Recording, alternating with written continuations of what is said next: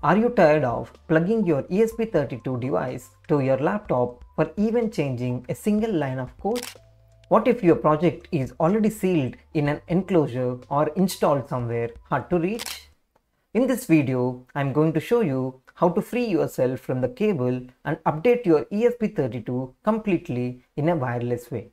That too, right from your favorite Arduino IDE. Hello everyone, welcome to IoT Frontier. My name is Let's get started with the tutorial. First of all, let's see what is OTA. OTA stands for over the air. This refers to updates that are sent wirelessly to send an updated code to devices like ESP32, eliminating the need for physical cable connection for future uploads after initial setup. This is just like a software upgrade or update that you will receive on your mobile. Now let's see the Arduino IDE.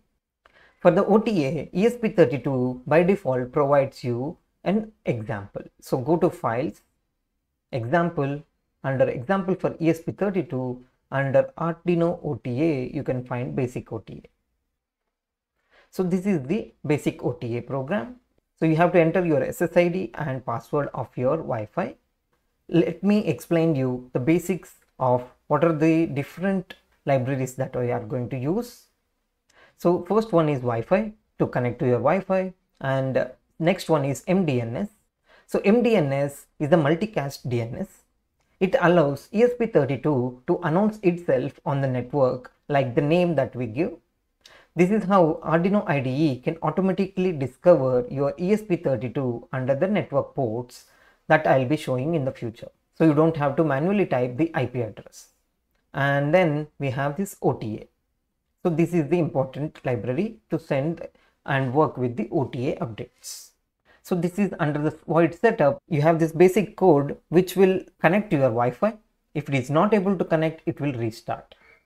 And next we have some of the defaults like the port which you want to set and the host name if you want to set. So I can use this to set my host name as my ESP32. Otherwise, it will give a default name with the MAC address.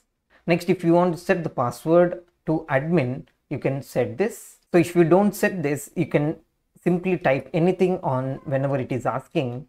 So it will accept as a password. There is another way that you can also set MD5 as a password hash.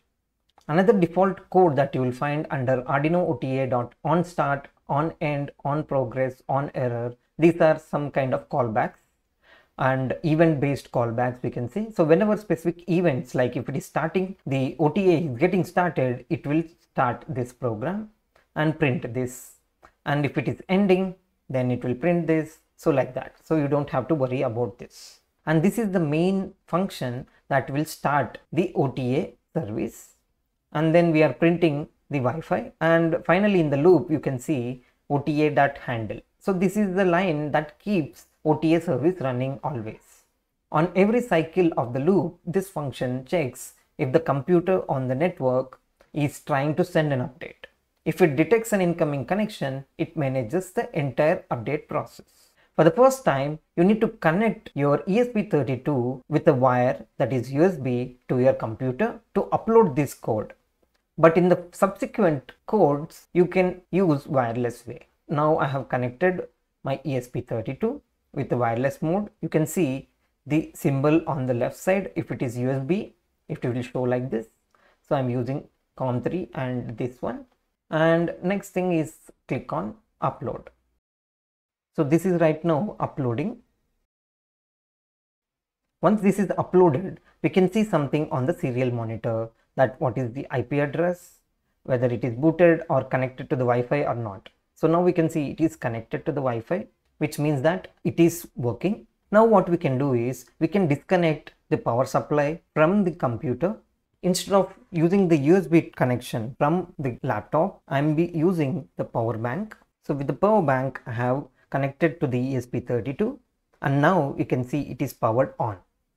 So after this, we have to send a subsequent code. So for the second code, what I'll do is I'll just add few lines of code on top of OTA code. So this is my another code where I'll show you what exactly the additional things that I have added.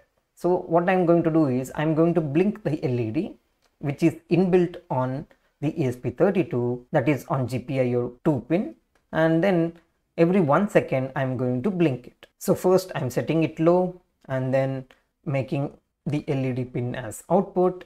Next in the loop you can see this code which is non-blocking LED blink logic so that you can see every one second I'm going to make it high and low so that it will be blinking. Now to upload this onto my ESP32 that is wirelessly. So on the top you can see the USB symbol has gone and the wireless symbol has come and with the IP address. Because of MDNS you can see this is appearing on your Arduino IDE. So if you see like this ESP32 dev module you need to select and then the port that is available click on OK.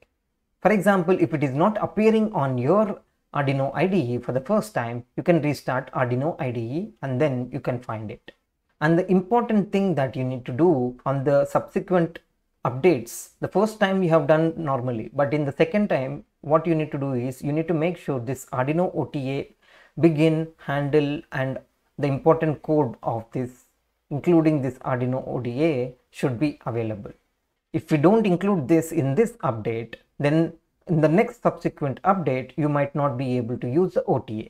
So now what I'll do is I'll click on this upload button and because I have used admin to be set I'm using admin if you have not set anything you can simply type any letter or word it doesn't matter and click on upload now we can see it is trying to upload wirelessly now you can see done and also immediately on the ESP32 board you can find that your LED is blinking every one second this is how simple you can use OTA updates on your ESP32 using Arduino IDE. And there is a limitation that you cannot use serial monitor for this network port. So you need to keep in mind that you cannot debug when you are using this OTA with the network port.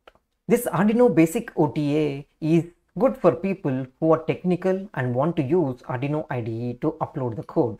But if you want your team members or non-technical persons to do the OTA, then there is another user-friendly library available which provides a user interface for the user to upload the code. So in the next video, I'll be showing you a tutorial to work on that. So subscribe and hit bell icon if you haven't done already to get notified on the new video. If you found this video informative, please type helpful and smash that like button. Thank you for watching and I'll see you in another interesting video.